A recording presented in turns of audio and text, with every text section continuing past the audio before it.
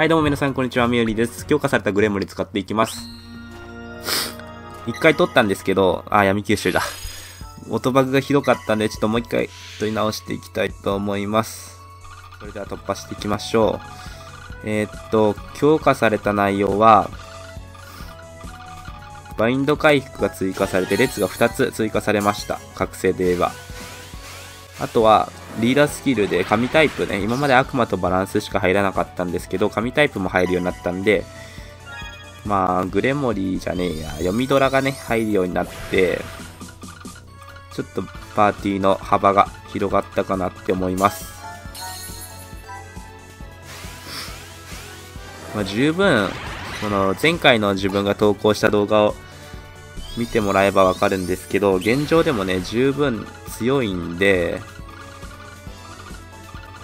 まあ、さらにね、星6フェス源としての風格が出たかなって思います。やりすぎちゃうかな、ぐじゅうじさんは。あー、止まらない。じゃあ、あ、十字を組んじゃうと36倍一気に出ちゃうからね。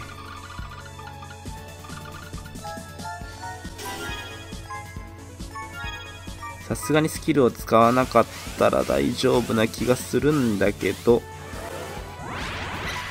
ケーオッケー。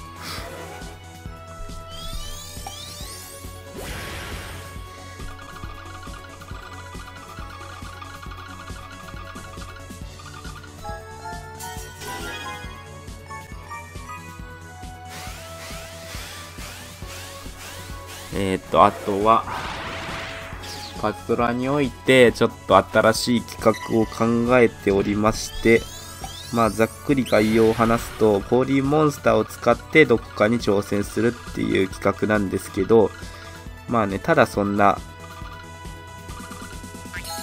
あー、ミスった。コーリーモンスターを使うだけじゃなくて、ちょっとね、ちょっと一手間加えるっていう感じですね。まだね、実際にはやってないんで、やってみればわかる感じになってるんですが、まあ視聴者、視聴者の方にね、受けがいいといいんですけどね、自分もまあ楽しくやっていきたいんで、自分が楽しめるようなね、パズドラをやっていきたいと思います。スキル、どうしよっかな。スキル使わなくても倒せる気がする。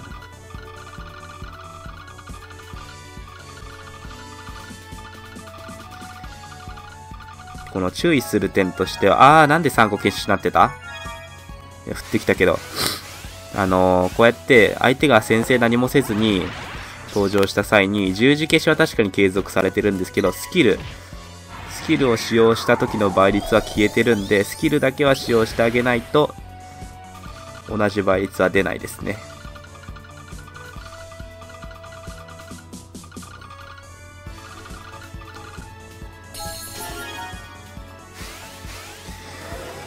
まあ軽く1列組んで何個かコンボすれば200万は出るんで火力はめちゃくちゃ強いかなって思います。防御力もね35%カットかな。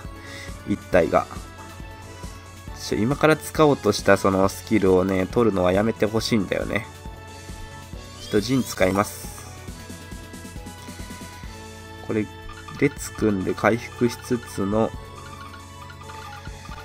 えーっとね難しいねこれ。はい。めっちゃ降ってきたけど。まあ倒せるでしょう。こうやってバインド回復がね、自分のスキルを使わなくてもできるようになったのはでかいかなって思います。ソティスとかもね、結構火力調整がいろんなやり方があって、スキルを使わずに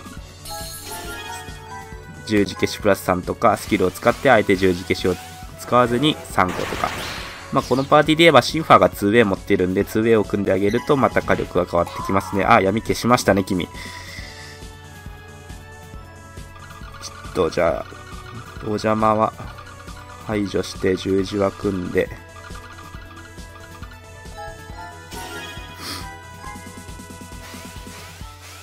タナトスレターラブレターか。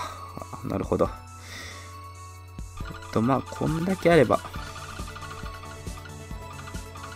あー、ちょっとこれいかん。これはいかんぞ。危ない。すごい落としが落としを作ってる感じになってる。キラーが刺さる。バランスキラーじゃないわ、体力キラーなんですけど、もどこで刺さるかちょっとよくわかんないからね。闇吸収来なくてよかった。闇吸収にだけはちょっと対抗できないんでね。どう頑張っても。いずれね、多分だけど、こういうね、吸収を無効化するみたいなね、スキルが絶対出てくるんで、あの、風神がね、ダメージ吸収無効っていうスキルを持って、ってことはまあね、大体予想がつきますよね、次に出てくるやつ。属性吸収無効もしくは、ダメージ無効化を無効とか、あとは何があるかな。うーん、吸収ですよ。盾を、盾を崩すはないか。99%の盾とかあれ、ミオンが使ってくるやつ。ああいうの結構めんどくさいんだけどね。さすがにそれはでも防御半減とかがあるから、どうなのかな。まあ、属性吸収解除は絶対来ると思います。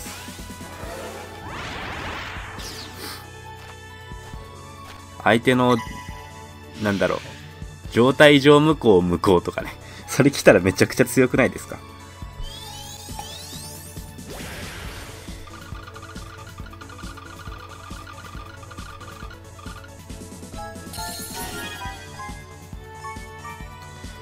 こいつは列組まないとね、さすがに、まあ、2way で数コンボしてあげればシンファー超えるんですけど、列を食ってあげれば確実にグレモリーが超えてくれるんで、そっちでいいですね。あ、ソティスじゃない方来たな。ちょっとだけ耐久しようかな。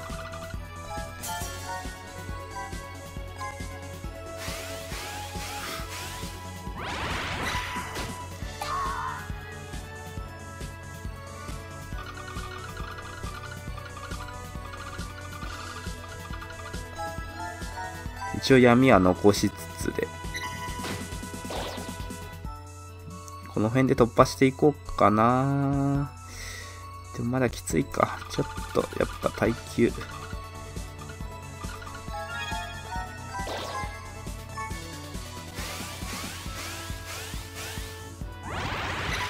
そのパズドラとか全く関係ないんですけど、生き物係がね、活動休止ということでね、ちょっと思い出が、昔の思い出があったんで悲しいんですけど、生き物係は自分が小学生か中学生の頃に聴いてたアーティストで、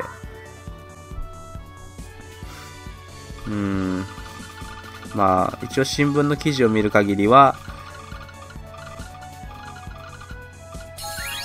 出産とか結婚とかね、吉岡さんがボーカルのそういう関係があるんじゃないかってことがね、載ってたんですけど、まあ、32歳みたいでもう、さすがにね、それぐらいになってくると、やっぱ、そういうことも考え出すと思うんで仕方ないんですけどね。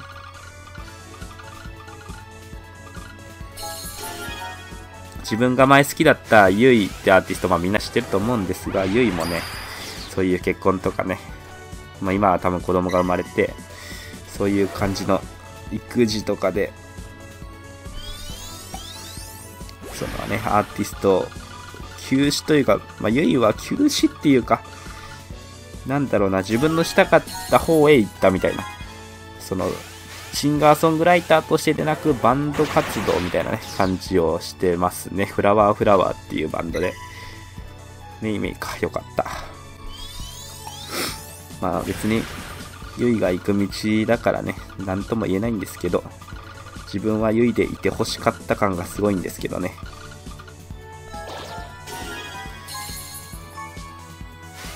まあ今は、そうですね、2話かワンオクロックかな。2話でもそんなに聞いてないからな。ワンオクが今一番自分の中では最最高のアーティストになってるかなって思います。もね、ハマったアーティストがね、消えちゃうと悲しいからね。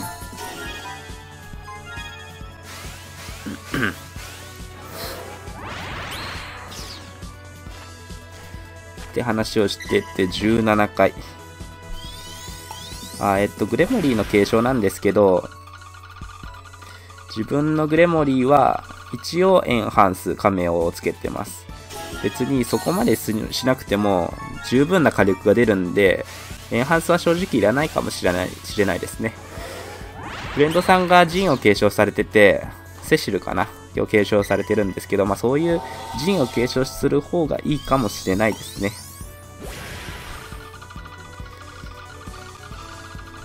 まあ、エンハンスを使うと、確実にカーリーはワンパンするだけの火力は出ます。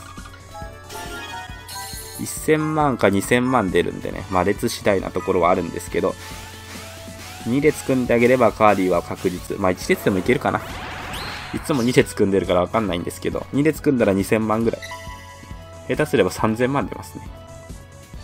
で、その列を継承じゃない、列じゃない、陣を継承するメリットとして、こういうところで、ベルゼブブが出た時に、さすがにね、シンファーとかがいっぱい生きてれば、ハートと闇を作って対抗できるんですけど、そうもいかないんで、陣で、やっぱね、全盤面変えられる系のスキルはちょっと手強いんでね。闇カーリーですね。じゃあここで、ジン使って、えっと、列が、若干足らないね。一応じゃあシンファーも打っときますか。で、えっ、と、エンハンスを打ってあげて、あー、ちょ、列組めなくなっちゃった。2列組めなかったんですが、これでどれぐらいですかね。これでもうワンパンできますね。1列で十分かもしれないな。で、こいつも1列で突破できればいいんですけど、どうかなちょっと分割ができない。